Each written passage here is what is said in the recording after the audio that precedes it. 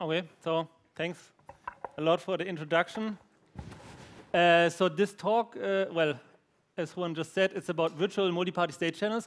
Actually, uh, so most of the credit should belong to Kristina. She was supposed to give the talk, but unfortunately she got sick. So uh, some large part of the slides are from her also. Uh, so let me start with a short introduction. What are blockchains? Uh, because this is the blockchain session.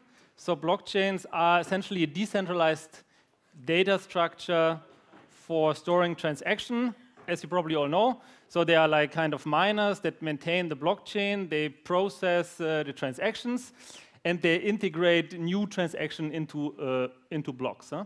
So uh, there are different types of transactions that have been proposed or like that are used uh, in the literature. So one uh, famous example is Bitcoin. Bitcoin uses transactions for payment. So example, for example, if I want to send some money to Ivan over there, then I can do this via Bitcoin, sending a Bitcoin payment transaction.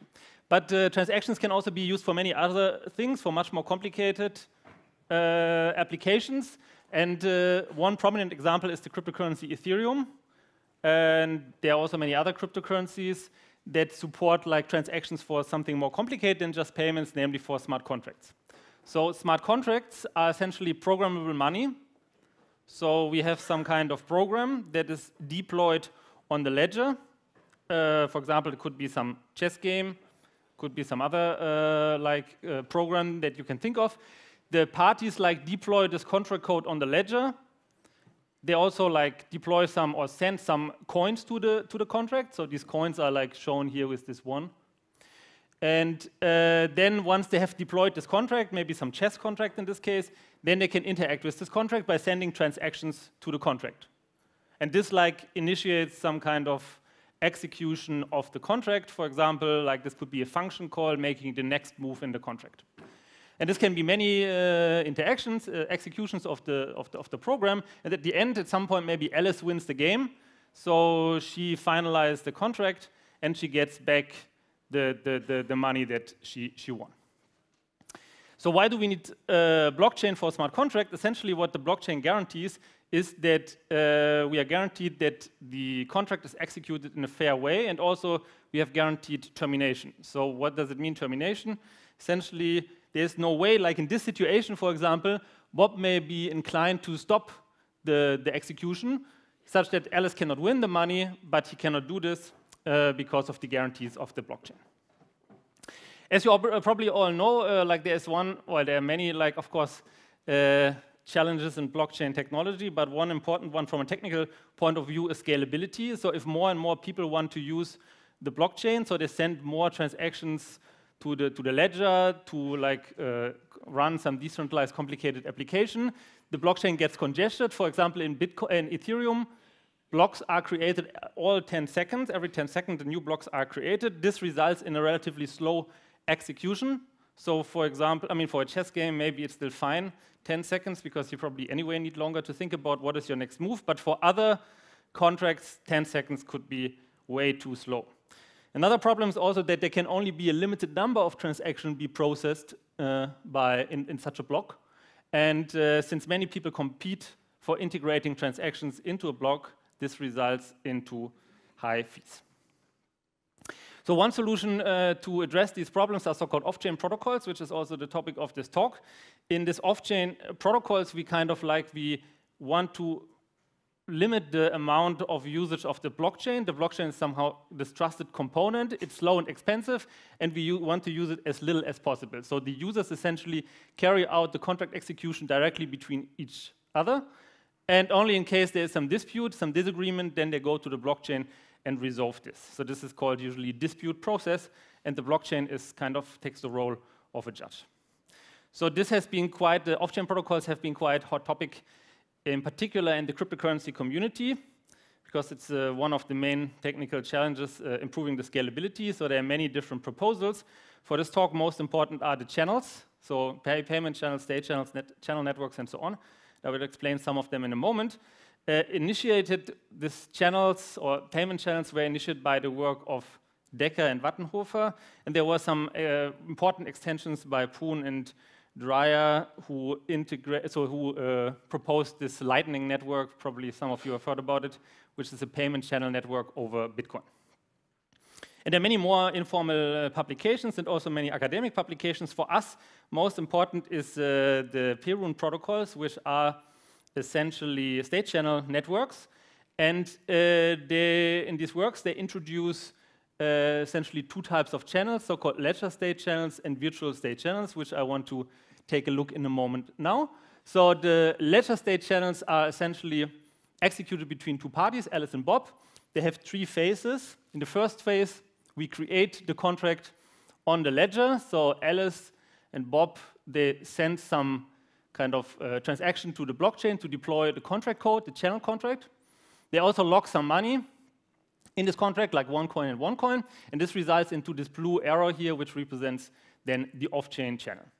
Now, once they have uh, created this channel, they can now execute contracts in this channel. So this is now taking care of chain, so without interaction with the blockchain. So that means can go very fast and very, it's very cheap.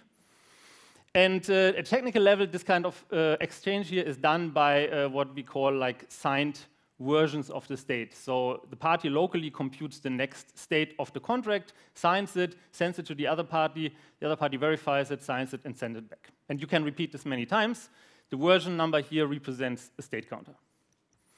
At some point, maybe Alice wins, and then she can go to the blockchain and close it. So at that point, again, we have to go interact with the blockchain, which is expensive and slow. And there's another important process here, which is called a dispute. So at, at, at some point, when parties disagree, then they can go to the blockchain and resolve their dispute. So that is also the case why this has to be on-chain.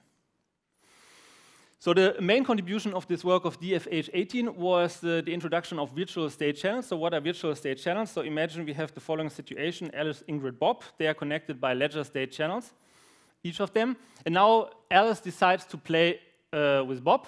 So what she can do, of course, is use this technique that we just talked about, so create a new ledger state channel. Uh, that, that is, of course, costly because uh, you need to deploy this channel contract uh, on the blockchain. And also for closing, it will be costly. So alternatively, we can use these uh, two under, underlying uh, ledger state channels as a two-party blockchain.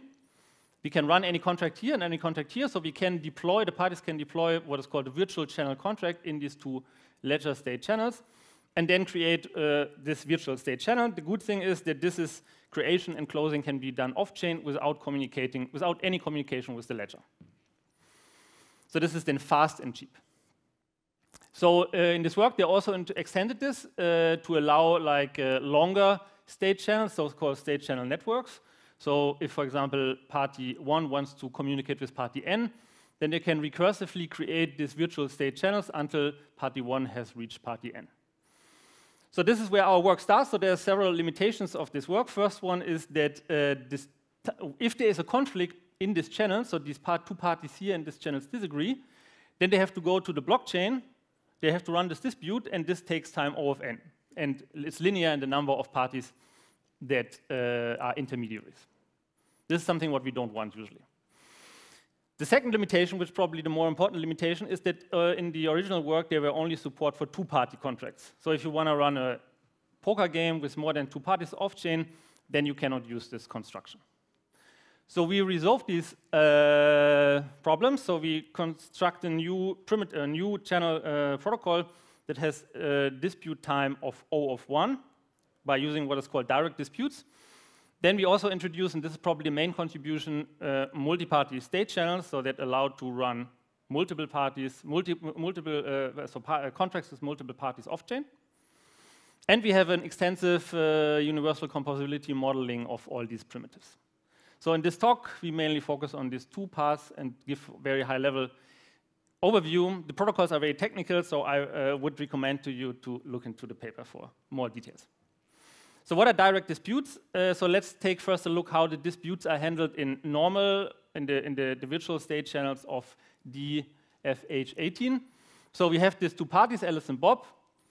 They have this contract here is executed, and then at some point it turns out that Bob is not responding to the request of Alice. Okay, so now this could be like just before the last move. So how can uh, Alice now re resolve her conflict? In the original construction, it was done like this. She contacts the intermediary, so goes to an intermediary Ingrid, tries to resolve the conflict with Ingrid. So she sends some messages to her. If this, uh, then she, she of course doesn't know what is the current state of chain in the, in the channel, so she contacts Bob. If Bob also is not responding, then also this contract goes here into dispute. So this uh, channel contract that was deployed in the underlying ledger state channel. And then she will go to the, to the blockchain because this is this trusted, as I mentioned in the beginning, this trusted last resort to which we can always, on which we can always rely for termination, for execution. So there she can like finally execute it and then like resolve the, the conflict in this, this channel here. So like now this was for just one intermediary. Now, of course, we can have several other intermediaries, and uh, it turns out that this kind of process grows linear with the number of intermediaries. So what we do instead is, uh, well, kind of uh, simple. Essentially, when uh, Bob is not responding, then we will use what is called a direct or like a dispute board contract. So the party will, instead of talking to the intermediary, they will directly go to the, to the blockchain, uh, send their latest state, this signed version number state, to this uh, dispute contract. The dispute contract goes in in a waiting state to give also Bob some time to react. Bob can then send uh, his latest state, and uh, then the contract will decide what is the latest state and uh, settle the, the, the, dispute. And from then on, Alice can continue executing on-chain. So as you can see now, in this case, we don't need to talk with all these intermediaries. We can directly go to the blockchain and uh, we can resolve conflicts in uh, time O of one. Of course, there are several multiple I mean, uh, technicalities that you need to solve. Now, like for example, Ingrid is not aware what was happening in the dispute, so she needs to kind of, when there's the closing of this channel, she needs to take the latest state from here to have it reflected in her ledger, underlying ledger state channels. But this can be taken care of with our protocol. So now we go to the main contribution, well, which is yeah, the main contribution of our work, which are the construction of virtual multi-party state channels. So uh, the goal essentially is now we have a scan network topology. Alice is connected to Ingrid, Ingrid is connected to Bob. They're connected by these two ledger state channels. And uh, now they want to, for example, play uh, three-player poker in this, uh, over this kind of network. So what can they do? Well, first they can ignore, of course, these channels and open a ledger multi-party, so ledger MP state channel by deploying a contract directly on the ledger. So this was proposed in a work of Andrew Miller and uh, some other people. Uh, it's called Sprites Network, and it's actually used, I think, in Ethereum for, Raiden, uh, for the Raiden network. Um, so what they do is, yeah, so the, the, then the problem of this approach, of course, is that creation and closing is slow because we need to interact with the ledger. So what we introduce in this work are so-called virtual MP state channels, which use these existing underlying uh, ledger state channels to build the um, virtual multi-party uh, state channels. So at a technical level, it works like this, that essentially the, the parties here uh, deploy a virtual multi-party channel contract in this ledger state channel here and another one in this, uh, in this channel here. And this contract will take care in case, of, in case of disputes to resolve conflicts. The good thing with this is that creation and closing is again fast because we don't need to go to the blockchain, at least in the optimistic case. We just talk to, the parties just talk to each other without interacting with the blockchain. Uh, but uh, so let me now have a look, a closer look at how this is actually done. So uh, we take a look at the uh, poker game where each of these parties, so there are three parties, they want to play maybe poker um, uh, against each other. So again, similar to what's happening for ledger state channels, or also uh, virtual state channels, we have three phases. In the first phase, we create this uh, virtual MP state channel over these two ledger state channels by deploying these contracts in these, uh, in, in, these ledger state channels. So this happens completely off-chain. Once this, uh, the channel is established, this happens like they execute some signatures and so on, uh, do some communication. Once this happens, then they can uh, load a contract into this channel. They can also lock some coin coins in this channel, like in this case, each party locks one coin into the poker uh, contract, and then they can execute this. So they can run this for multiple rounds. Uh, at some point, maybe Alice will win. So she wins uh, all the coins here, other parties lost. And then uh, in the last step, when they don't want to, when they don't use any, they don't want to use anymore this channel, then they can close it. And the closing uh, is essentially like kind of reflected under in the underlying channels. So now we have to somehow make sure that Alice, since Alice won the three coins in this multi-party state channels, and Ingrid lost coins here, and Bob lost also coins here, this has to be reflected in the underlying ledger state channels. So how does this happen? Essentially, the contract here, this will take care of, during the closing procedure, that Alice wins two coins here. So in this channel, she gains two coins, because originally she deposited one coin, and two coins she wins by winning the, the game. Uh, then, of course, because of the fact that you cannot create money out of thin air, so we need to like have that Ingrid loses uh, two coins on that side. Now, the problem is, of course, that Ingrid now lost more money here than what she was supposed to lose in this contract, because originally she only lost one coin. And how do we do this then? We do this uh, that essentially here she is compensated. Okay, so here she gets one coin plus, and Bob uh, has to compensate then Ingrid for this. Okay, so this is how it works. I mean, this is how the, the, the, ideal functionality kind of like uh, what it guarantees. And then guaranteeing this is, of course, complicated because they are like, this is like the simple case just with three parties, but it's extended to multiple parties as well. So in the end, as you can see, overall, Ingrid and Bob each lose one coin, even though, of course, uh, Ingrid is here more in the negative than here she is in the plus.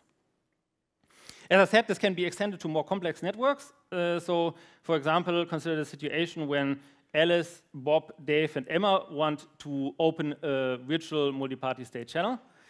What they can do in this case is, and, and, Ingrid doesn't want to participate, so she is not interested, then they, then they can cut out Ingrid by opening uh, a virtual two-party state channel over Ingrid. So they, they open this two-party virtual state channel over her by deploying these contracts. And once now all parties are again directly connected by two-party channels, they can they can open uh, a virtual multi-party state channel uh, by deploying these virtual multi-party contracts, uh, virtual multi-party channel contracts in the underlying uh, channels.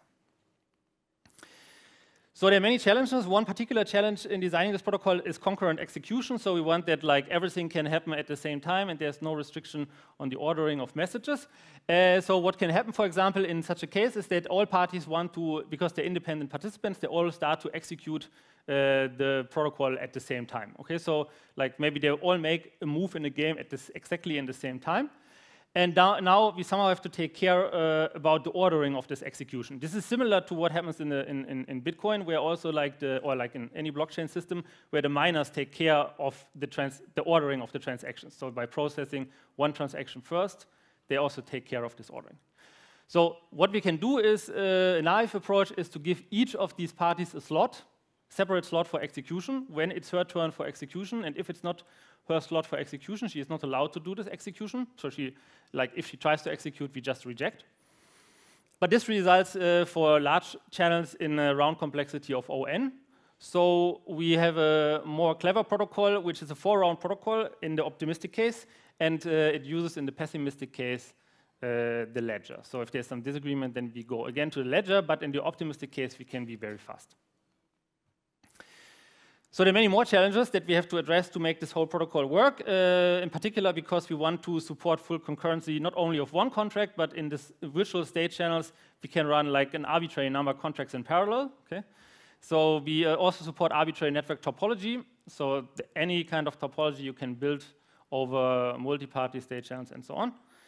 Uh, there, with the UC modeling, we uh, allow that you can combine multi-party channels with uh, two-party channels, and two-party channels can have direct dispute or indirect dispute, so you can combine these kind of channels in an arbitrary way to have some arbitrary complex network topology. And we uh, have to deal with some UC technicalities, in particular with the fact that the joint state, that ideal functionalities have some joint state. So let me summarize our contribution. We introduced the technique of direct disputes for virtual state channels. Uh, we also uh, introduced the first construction of multi-party virtual multi-party state channels for any network topology. All protocols have round complexity of O of, o of 1 in the optimistic case, of course. uh, there's interaction uh, sometimes with the blockchain needed, but in the pessimist, in the optimistic case, there's no interaction with the blockchain.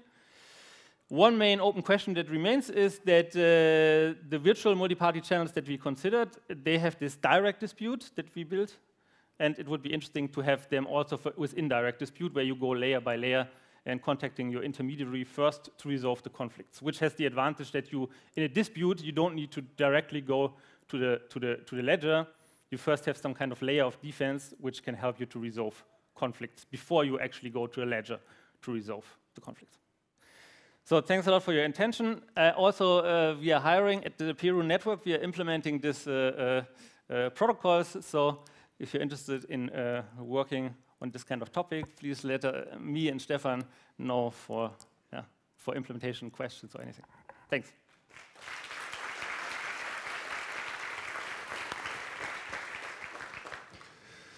Any questions for Sebastian?